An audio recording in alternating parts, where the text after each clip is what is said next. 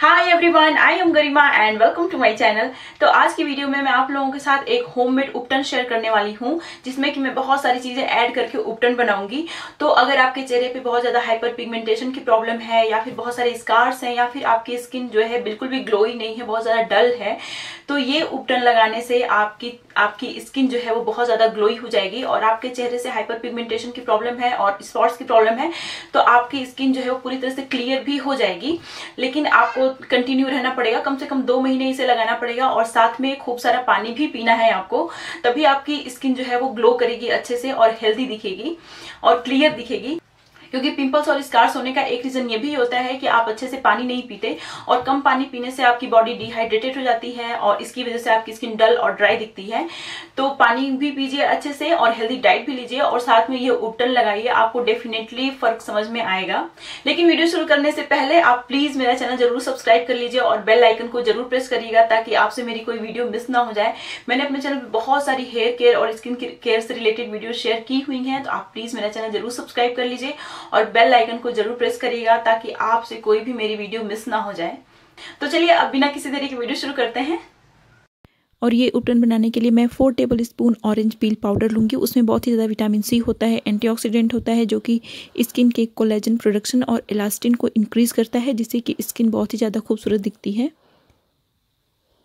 और अब मैं यहाँ पे four tablespoon almond plus चिरौंजी पाउडर मिक्स करने वाली हूँ। अब आप एलमंड और चिरौंजी को ग्राइंड करके उसका पाउडर बना सकते हैं।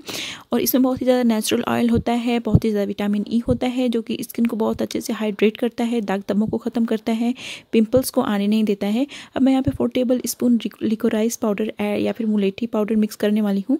तो मुलेठी जो होता है, वो स्किन इन्फेक्शन को दूर करता है, साथ ही जो छोटे छोटे बाल होते हैं, उसको रिमूव करता है। अब मैं four tablespoon sandalwood powder मिलाऊँगी और ये वाइट सैंडलवुड पाउडर है।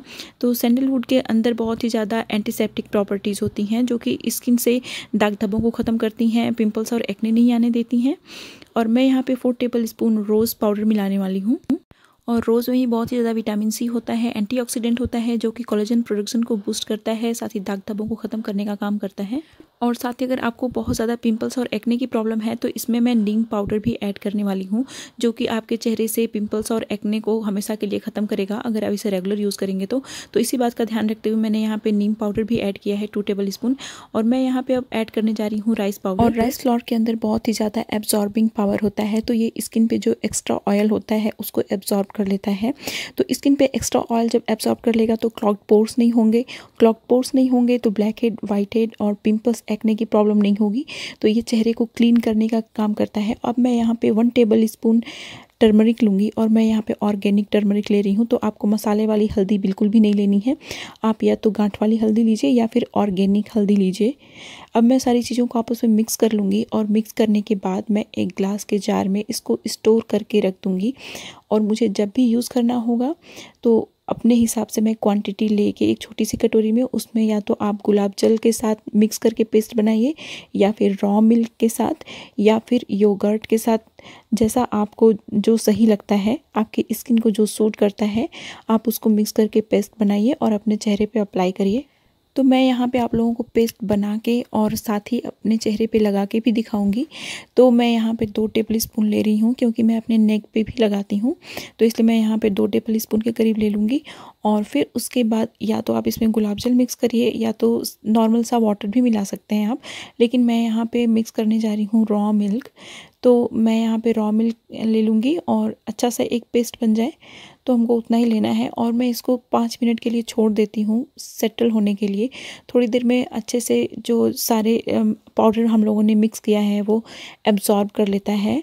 और फिर उसके बाद हम लोगों को लगता है कि थोड़ा सा और दूध डालना चाहिए तो हम लोग थोड़ा सा और डालेंगे। नहीं तो हम लोग इसी को अपने क्लीन फेस पे, चेहरा क्लीन होना चाहिए अप्लाई कर लेंगे all over face and neck और फिर हम लोग ट्वेंटी मिनट के लिए वेट करेंगे।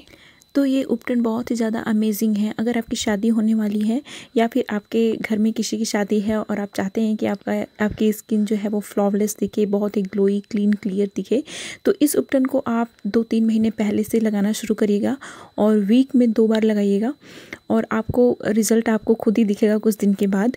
और मैं बहुत सारी स्किन केयर रिलेटेड वीडियो और भी लाने वाली हूँ अपने चैनल पे और मैंने बहुत सारी वीडियो शेयर भी की हैं तो आप मेरी वीडियो ज़रूर चेक करिएगा और अभी तक आपने मेरा चैनल सब्सक्राइब नहीं किया है तो सब्सक्राइब ज़रूर कर लीजिएगा। क्योंकि अगर आप मेरी वीडियोज़ फॉलो करेंगे तो डेफ़िनेटली आपके लिए बेनिफिशियल होंगी, क्योंकि मैं पहले खुद पर ट्राई करती हूँ अपनी सारी रेसिपीज़, फिर मुझे अच्छा रिज़ल्ट दिखता है, तभी मैं शेयर करती हूँ आप लोगों के साथ।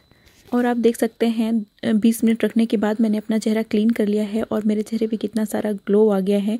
ये बिल्कुल भी नेचुरल ग्लो है। तो ये थी आज की वीडियो और मुझे उम्मीद है कि आपको मेरी आज की वीडियो पसंद आई होगी। और अगर आप फ्यूचर में मेरी वीडियो देखना चाहते हैं तो प्लीज़ सब्सक्राइब कर लीजिए मेरे चैनल को और मेरी वीडियोज़ को अपने फ्रेंड्स फैमिली में भी शेयर करिएगा ताकि उन्हें भी बेनिफिट मिल पाए। और अब मिलते हैं नेक्स्ट वीडियो में, तब तक के लिए बाय एंड स्टे हैप्पी